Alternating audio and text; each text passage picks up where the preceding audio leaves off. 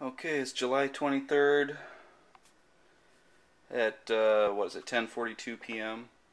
Uh, I have put in this uh, car amplifier, uh, and then I have a uh, 12 volt wall wart uh, connected to it to power it.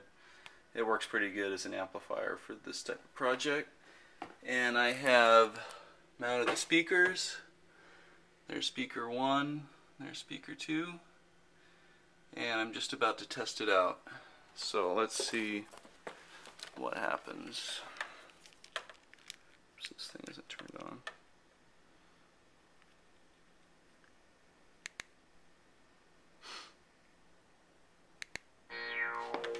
Ah. Well, sounds pretty good to me.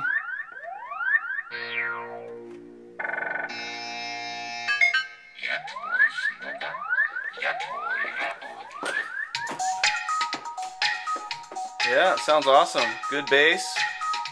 Plenty of bass for Cobra Command, that's for sure.